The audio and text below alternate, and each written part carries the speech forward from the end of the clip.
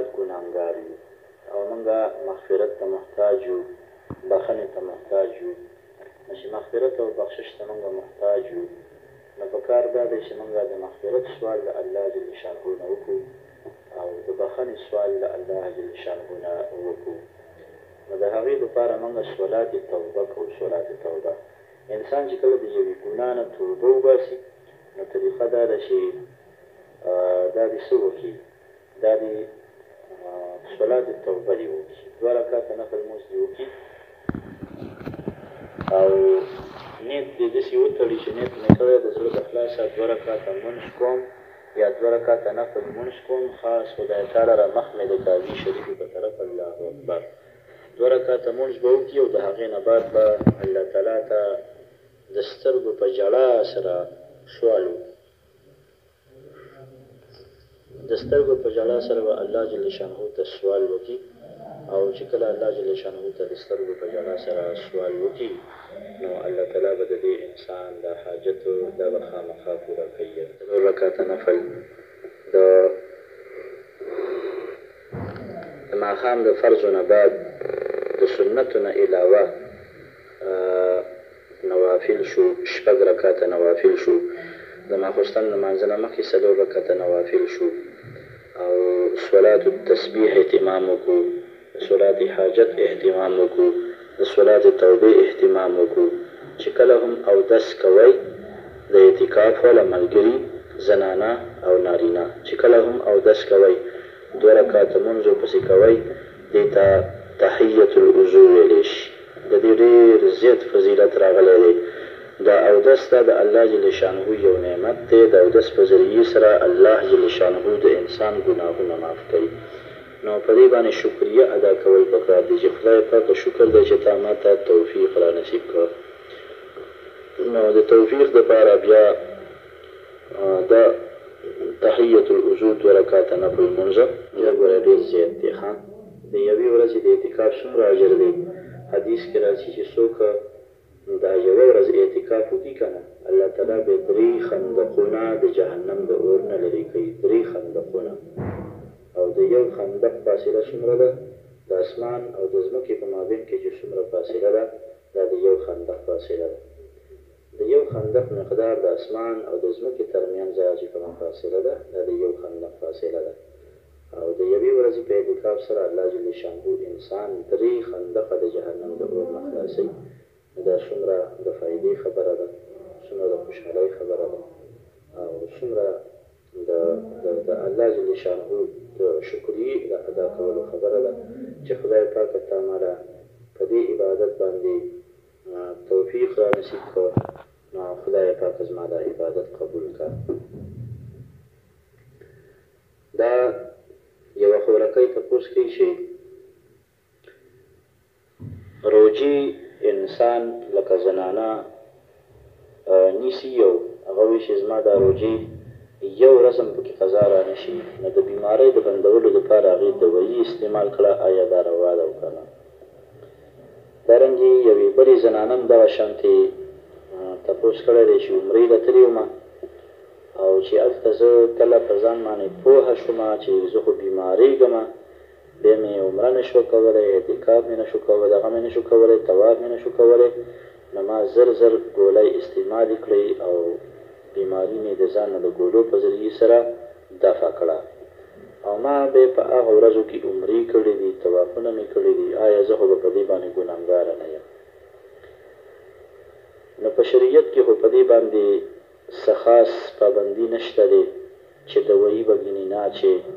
د دویی په ذریعی سره که چا روژی بندی کړی نو دا په دې ګناهګارېږي نه، روژې یې هم کېږي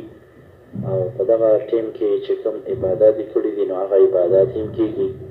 که څوک په کې عمرې له تللی یو عمره یې کړي، طواف یې کړي نو د هغې اجر او ثواب هم ورته مېلاوېږي. نو دا بلکل استعمالولای شي. البته زمونږ د فقه حنفي یو کتاب دی، کتاب الفقه علی المذاهب الاربعه، کتاب الفقه علی المذاهب الاربعه، په هغه کې یې لیکلي دي چې د خپل صحت حفاظت په انسان باندې واجب وي، د خپل صحت حفاظت په انسان باندې واجب وي. نو که دا دوياني تاسو فرض که خرابوي ستاسو صحت ته نقصان در ورکوي نو بيا په کي ګناه ده بيا ګناه ده ټيک ده بيا هم که تا دغه روژي ونيولي روژي خو دي کيږي خو دا ده چي ګناه ده ډيره سخته ګناه ده نو ددي خبري توجه په دې باندې لره پکار ده چې هسې نه شې ایماندار شې نو د ډاکټر سره په دې باندې مشوره به پکار وي چې آیا زما حفا زما صحت خو خرابیږي نه کنه. انجکشن دی زه بیمار یم او هغه انجکشن ما د ماښام ماخوستن په ټیم کې استعمال که نو زما هغه بیماری له هغی سره کنټرول شوه او انجکشن داسی دی چی هغه دوایی ده بس خوله کی به یی اچی او تیری به نه خوله کی به دی نیولی او څه خاص وخت یی بس دغه وخت پوری به دی نیولی او بیا به یی لری کی نو دا وی چی زه اوس دی روژه کی که دا کار وکړم زما خو دی سره روژه نه ماتیږی نو جواب دا دی چی که دا ته تیری نه او هسی دی دی شونډو سره دی دی ژبی سره لاندی دا ته ایسار کړی او دا ته تیری نه نو دی خو دی سره روژه نه ماتیږی د دی سره روژه نه ماتیږی او دا شانتی زنانو تم د دی اجازت شته دی چی د کومی زنانه خاوند سی دغی د دماغو نه تیزی او هر ټیم به جنګونه او شرونه یی نو که دا زنانه ترکاری وسکی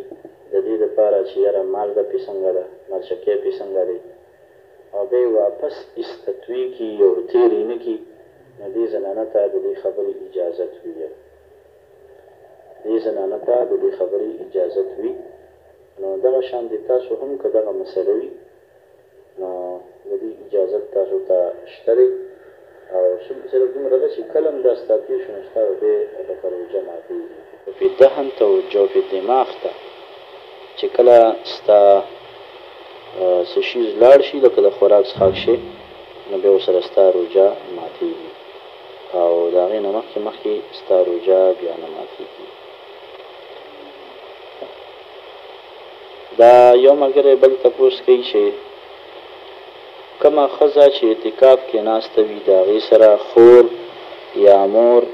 بل څوک آیا یو ځای کیناستلی شي او که نه دوه زنانه هم اعتکاف ته کیناستلی شي او بلکل کیناستلی شي او که د دوی مقصد دا وي چي یو زنانه اعتکاف ته ناستي ده او د هغې سره بله داسې زنانه کېني پاسي چې هغه اعتکاف ته نه ده ناستې نو ایا دا روا دي او که نه؟ دا دواړه کارونه روا دي، دوه ښځې، درې ښځې مې اعتکاف ته کېناستلی شي او د دې نه زیاتې او کمې او دا هم کولی شي چې یوه زنانه اعتکاف ته نه وي ناسته او هغه د دغه معتکفې ښځې سره هسې کېني او ددې لپاره چې هغه مانوسه وي، هغه ونه یریږي، هغه خوشحاله وي، د هغې طبیعت برابر وي، نو په دې کې څه ګناه نشته دی، بلکل ورسره کیناستلای شئ، خو که د اعتکاف نیت هم وکړو کنه او بیا هم د هغې سره خوراک څښاک کوو نو دا به ډیر زیات ښه وي. د اعتکاف نیت به څنګه کوو؟ د اعتکاف دقه نیت دی چې بس تا ځان ته پردې ولګولې، بستره دي ځان ته برابره کړه قران پاک او تسبيح هر يو څيز دي ځان ته برابر کړه دقه اراده ده کنه داسه لازمي نه ده چي خامخا به ته د اعتکاف نيت په خله باندي کي او که يو کس داسي وي چي زنانه يا سړی چي هغه وي زه نه مطمئن کيږم چي ما په خله باندي نيت ني ويلي نو د هغوي د پاره نيت دا دی چي نويت الاعتکاف ما دمت في هذا المسجد نويت الاعتکاف ما دمت في هذا المسجد ما نيت کړی د اعتکاف چې څو پورې زه په دې مسجد کې يمه يعنې د سجدې په ځای کې يمه او په هغه ځای کې يمه موضع الصلاة و موعد العبادة موضع العبادة چې هغه د مانځه او د عبادت ځای دی. وایي چې انګریزۍ زده کولو کې خو څه ګناه نشته. نو داسې سوال تاسو وکړئ چې انګرېزۍ زده کولو کې څه ګناه ده بلکې فایده یې ده، د انګرېزۍ په زده کولو کې ډېره زیاته فایده ده، دا تبلیغیان ملګري بهر ممالکو ته لاړ شي که نه هلته غیرمسلمو ته د ایمان او د توحید دعوت ورکوي نو اکثر بهر چې کوم ممالک دي. په انګلش باندې پوهیږي او په تمامه دنیا کې دا انګلش او دا انګریزي زبان دا رایج دی او دا جاري دی نو بیا هلته ضرورت راځي کنه په دعوت کې ضرورت راځي په تبلیغ کې دعوت راځي داسې علماو لم پکار دادي چې عصري تعلیم ته هم توجه ورکړي انګلش ووایي ساینس ټکنالوژي. ډاکټر جوړېدل، انجنیر جوړېدل، د سکول استاد جوړېدل، یو افسر جوړېدل، دا ټول کارونه روا دي، د شریعت نه خلاف کار صرف نه دی پکار، عالم له هم دا پکار دی چې هغه دې انګریزي زده کړي، انګلیش دې زده کړي او د تبلیغ دپاره، د دعوت دپاره، د قرآن عظیم الشان د تفسیر دپاره، د قرآن او د سنت د تعلیم او د درس او د تدریس دپاره د دې انګلیش ډېر زیات ضرورت دی. او چې کله به له دا نه درځي نو بلکل دغه شانتې دی لکه یو سړی چې ګونګا وي ګونګا نو بلکل د ګونګا او د چاړا په شانتې لګی کوي بیا به درته څه درځي نه.